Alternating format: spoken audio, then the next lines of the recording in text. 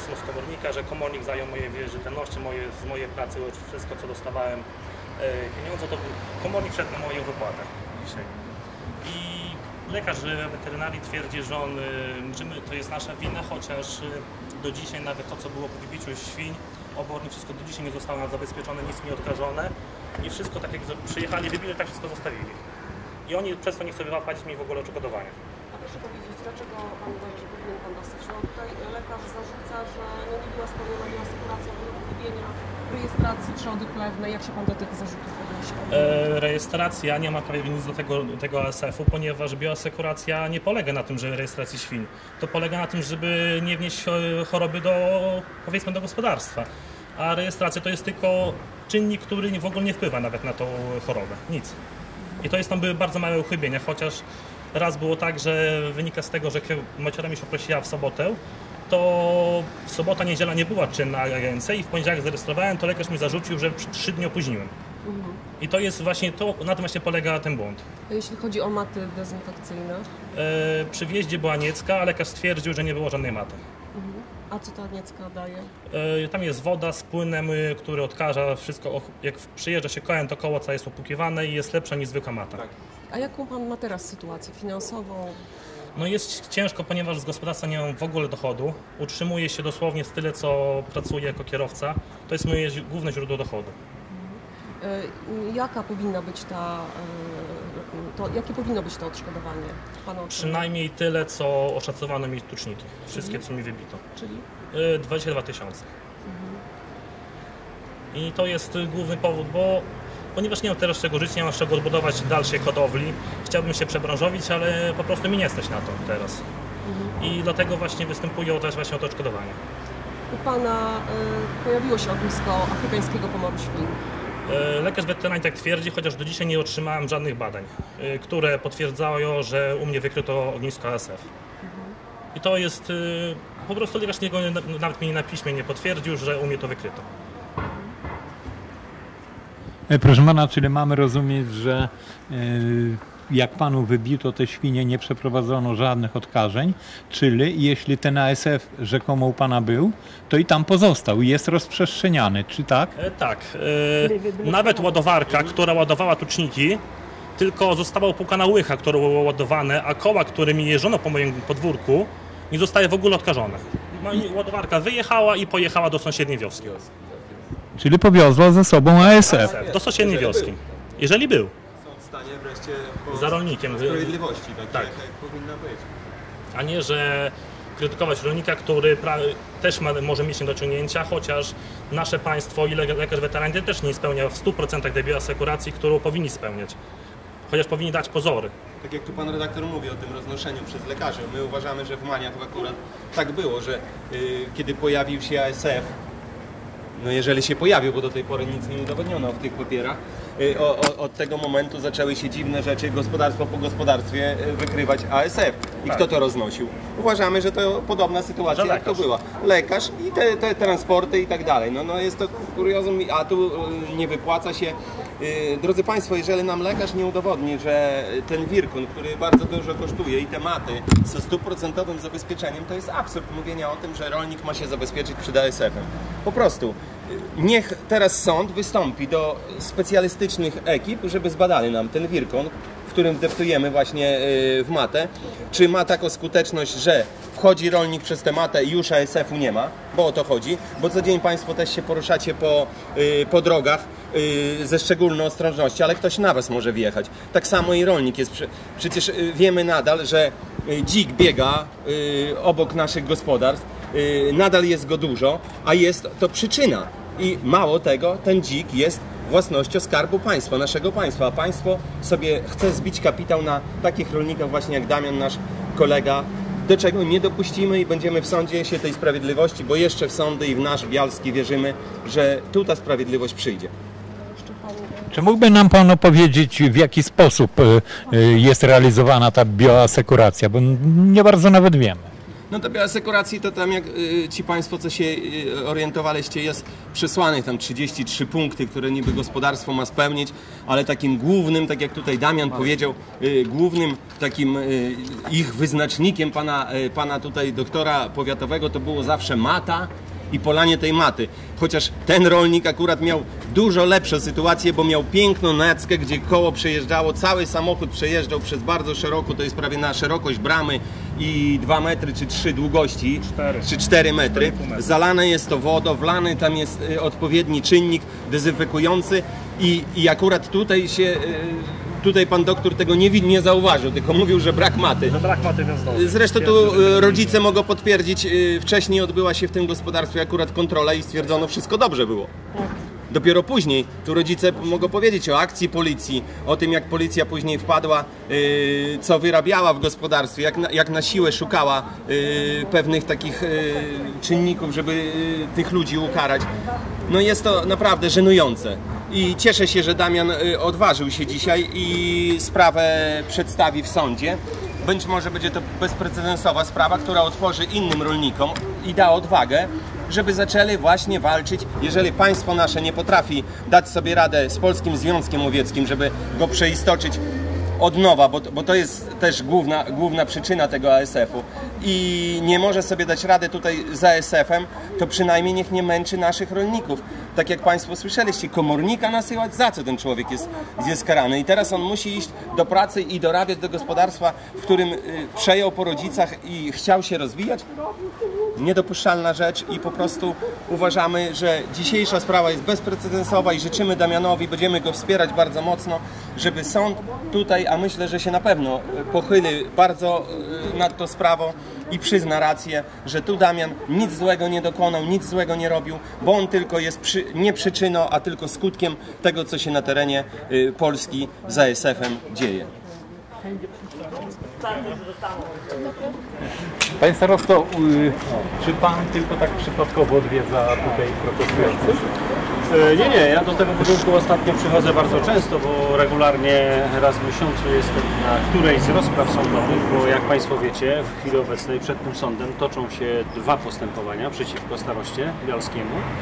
Jedno e, z powództwa e, Zarządu Głównego Polskiego Związku Łowieckiego, drugie z powództwa Wojskowego Koła Łowieckiego Diana w Stężycy koło Dęblina.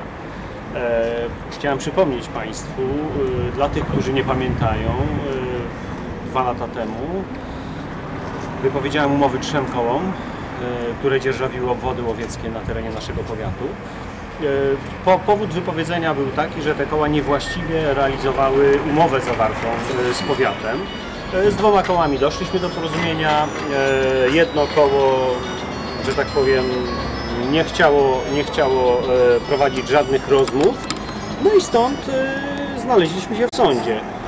E, Liczę, liczę na to, że tutaj sąd jakby e, bardzo dogłębnie i wnikliwie rozpozna tą sprawę. Przede wszystkim powinien zauważyć interes e, pokrzywdzonych rolników. No tutaj, proszę Państwa, jeżeli chodzi o ten obwód numer 19, tam bardzo często dochodziło do że tak powiem, podawania sprzecznych informacji, bo dla przykładu, na przykład inwentaryzacja poprzedniego dzierżawcy obwodu, z inwentaryzacji wynikało, że na obwodzie znajduje się 43 dziki, e, gdzie nowy dzierżawca za 6 miesięcy odstrzelił e, 260. Więc e, proszę sobie wyobrazić, jak, e, jak rzetelnie były te inwentaryzacje prowadzone. E, Dzisiaj od rolników nie docierają do nas sygnały e, o szkodach łowieckich, czyli ewidentnie e, jakby zmiana dzierżawcy była tutaj właściwym ruchem. E, Myślę, że to powinien być taki dobry przykład dla innych starostów e, w Polsce. E, Ja wielokrotnie tutaj na tej sali sądowej mówiłem sądowi, że rolą starosty nie jest tylko podpisywanie umowy, to nie może być tylko i wyłącznie zwykła, zwykła funkcja notarialna, bo jak widzicie Państwo, to po przeciwnej stronie jest kancelaria notarialna, gdzie się sporządza akty. Skoro starosta zawiera taką umowę, to uważam, że ma prawo kontrolować, jak ta umowa jest rea- realizowana przez dzierżawcę. Ja tutaj, proszę Państwa, yy, uważam, że bardzo istotną yy, rolę w tym momencie powinien odegrać pan minister środowiska, bo yy, jest nowy minister. Jak wiemy, prawo łowieckie w pewnej części zostało zmienione i to pan minister powinien teraz właśnie interweniować i takie przypadki jak ten, gdzie zarząd główny pozywa, e, pozywa starostę, który staje w obronie rolników, minister powinien interweniować i wręcz zmusić zarząd do tego, aby ten e, pozew został z sądu wycofany. A jak się ma sytuacja teraz y, współpracy nowego dzierżawcy z rolnikami? Proszę Państwa, e, sytuacja odwróciła się o, 300, e, o 180 stopni. E, Nowy dzierżawca bardzo dobrze realizuje swoje zadania. Przede wszystkim e, został rozwiązany problem z dzikami. Dziki zostały jakby zredukowane. E, Tutaj oczywiście ASF też zrobił swoje. Ale przede wszystkim e, chodzi o takie relacje międzyludzkie. E, Nowy dzierżawca potrafił zorganizować e, z miejscowymi rolnikami spotkanie integracyjne, gdzie mogli porozmawiać, wymienić swoje poglądy i to mi się bardzo podoba. Na przykład dzisiaj do mnie nie docierają żadne sygnały od miejscowych rolników, aby coś złego na, na obwodzie się działo i przede wszystkim jak rolnicy mnie informowali, wystarczyło kilka miesięcy i rolnicy już znali tych myśliwych e, z nowego koła, bo oni tam się bardzo często pojawiali, gdzie o poprzednikach nie można było tego powiedzieć. Y, Proszę pana, w ostatnich dniach y, zmieniło się ponownie, po raz kolejny już nie wiem, który prawo łowieckie i szacowanie szkód wróciło z powrotem do myśliwych. Jak oceniają to, tą ostatnią zmianę rolnicy, którzy przecież y, bardzo walczyli, żeby myśliwi nie szacowali szkód, czyli żeby nie byli sędziami we własnej sprawie? sprawie. Dokładnie tak. No proszę Państwa, tutaj oczywiście e, państwo ma instrumenty, żeby zrobić to w normalny sposób, bo przecież tak, jest Agencja Restrukturyzacji i Modernizacji Rolnictwa, e, są przygotowani pracownicy, mają do tego odpowiedni sprzęt, samochody itd., itd. E, są lasy państwowe. Można było oczywiście wykorzystać którąś z tych instytucji, no ale tutaj oczywiście, e, jak widać, e, ktoś znowu poszedł po najmniejszej linii oporu. E, i znowu włączono do, do tego przedsięwzięcia samych myśliwych. Ja uważam, że tak być nie powinno. Oczywiście ja nie podejrzewam, że e, powiedzmy e, myśliwi tutaj no, próbują w jakiś tam sposób naciągać. Na pewno, e, na pewno wyglądałoby to w sposób bardziej obiektywny, gdyby jakaś instytucja zewnętrzna za- zajmowała się tym, a w ogóle wielkim nieporozumieniem było włączenie do szacowania sołtysów. No proszę Państwa, no, Ciekawe, co jeszcze e, lub do czego jeszcze sołtysi będą wykorzystywani. A co pan by zaproponował y, do zmian w ustawie prawo łowieckie, żeby z punktu widzenia e, starosty było to najkorzystniejsze dla wszystkich stron, w tym dla Skarbu Państwa? Proszę Państwa, przede wszystkim uważam, że rola samorządów powinna być e, dużo, dużo większa. Nie może to się odbywać na tej zasadzie, że e, starostowie podpisują tylko i wyłącznie umowy na dzierżawę, a jeżeli chodzi o kontrolę, egzekwowanie tych umów, no to tu, tu jest problem. Na przykładzie na przykład systemu niemieckiego, prawda? E, Niemcy potrafili to rozwiązać. Na przykład mój powiat partnerski, powiat Oberhavel w Niemczech, ostatnio, ostatnio mieliśmy okazję tam będąc u nich przyjrzeć się jak to funkcjonuje u nich. Jest wydział w starostwie, który zajmuje się stricte e, sprawami związanymi z łowiectwem. No tylko tutaj musiałaby być, proszę Państwa, dobra wola przede wszystkim ministra, nie? Który, który musiałby znaleźć takie rozwiązanie, żeby e, pozycja i rola e, zarządu głównego PZU no, była troszeczkę inna. Starosta, jeszcze chciałam już zapytać o tę dzisiejszą sprawę. Pan się też solidaryzuje z tym rolnikiem w ogóle, jeżeli chodzi o tą sprawę, bo Proszę walczy państwa, o odszkodowanie, Proszę prawda? Państwa, e, oczywiście, że tak. E, ASF e, nie pojawił się na terenach, e, na których gospodarują e, rolnicy przez samych rolników. I dzisiaj uważam, że żaden z rolników nie powinien ponosić konsekwencji w sytuacji, nawet jeżeli stwierdzono jakieś uchybienia.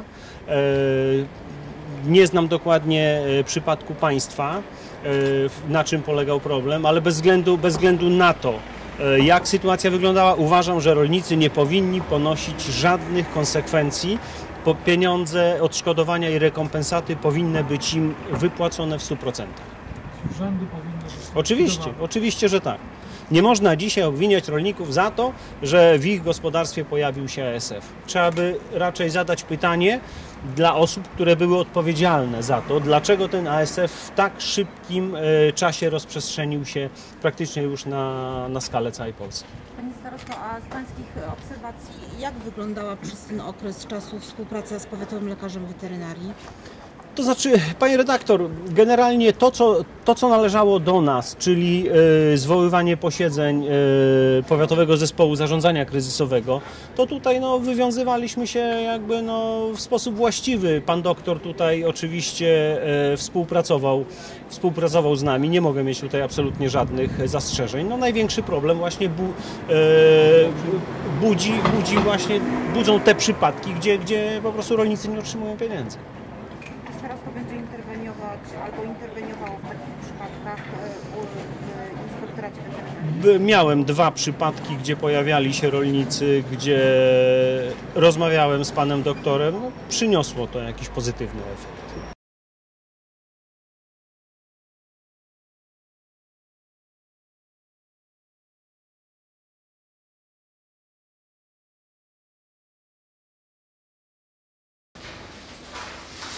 Czy Pan w takim razie y, zna ten protokół? Czy Pan go widział? Czy Pan go dostał? Tego protokołu w ogóle nie... A co Pani okazuje? Okazuje mi protokół z dnia 4 października 2012 roku. Jego okazuje sporządzony dnia 4 październik 2017. Sporządzony w gospodarstwie i y, protokół y, przepis nam się kończy. Sporządzony w gospodarstwie. Zawierający, tak, zawierający ustalenia, oświadczenia składane y, przez Zawieramy pana ustalenia i oświadczenia składane przez pogodę. Tak? Tak, składane przez powoda. Dobrze, czy Pan widział ten? y, A może tak, przewodnicząca stwierdza, że kserokopia tegoż protokołu znajduje się Było na na kanału. Na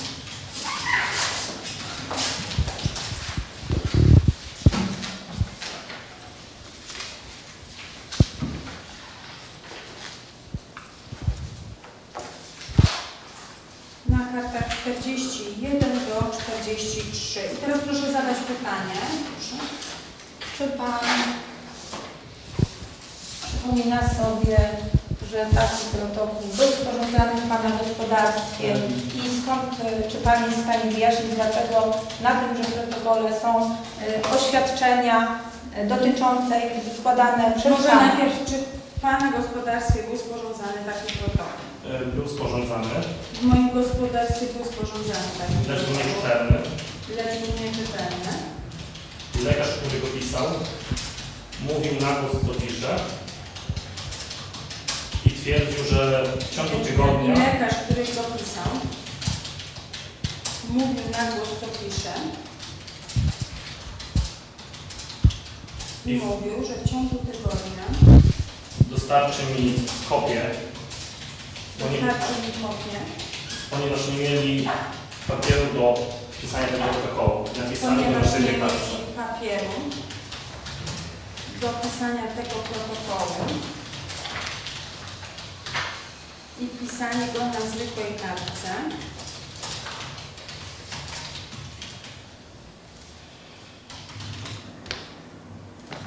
Około pół metra, może 45 cm, tak? Nie dokładnie. Dokładnie. Jeszcze jakieś pytania? E, Tak, e, e, czy przed, w dacie tamtejszej posiadał Pan wyłożone maty dezynfekcyjne zgodnie z obowiązującymi przepisami oraz czy wówczas Ale w tamtej dacie, to znaczy w jakiej dacie? W dacie sporządzenia protokołu, To czyli na dzień 9 sierpnia Czyli e, 9 2017 roku. Tak. Były maty. 9 sierpnia, to jest w dniu sporządzenia protokołu. Były maty dezynfekcyjne. A czy rejestr e, środków transportów oraz rejestr wejść do osób do pomieszczeń, w których utrzymywane są świnie, też miał Pan wówczas? Nie było tylko rejestru przemieszczenia, a czy środków transportu. Nie miałem w tej dacie rejestru przemieszczania środków transportu, a co do wejść i wyjść osób Wejść wszystko było. Transportu, miałem rejestr wejść i wyjść osób, z gospodarstwa. Wejście wyjście z gospodarstwa osób poza. Z gospodarstwa i do gospodarstwa, Tak, tak? tak. Osób postronnych. tak. E, A dlaczego zatem bez zastrzeżeń podpisał Pan ten protokół, skoro w tym protokole są ustalenia inne? Mianowicie stwierdzające, iż Pan tych Pani mark nie mecenas, py- pytanie proszę zadać. Tak? Pytanie brzmi, Czy dlaczego... Pan miał zastrzeżenia do tego protokołu? E, Tam tylko było jeden, jedna sprawa, bo nie miałem przy jednym wejściu maty, przez które wejście się nie wchodziło w ogóle. Tam była jedna sprawa, bo do jednego wejścia nie miałam maty, Przez które się w ogóle nie wchodziło. ale przez to wejście ono nie służyło jako Nie wejście, służyło tak? wejście, bo to było dzienne Nie miałem maty, ale to, to wejście nie służyło jako wejście Do chleby. do chlebni. Czy Pan podpisał protokół bez zastrzeżeń? Takie było Bez. Ja podpisałam protokół bez zastrzeżeń.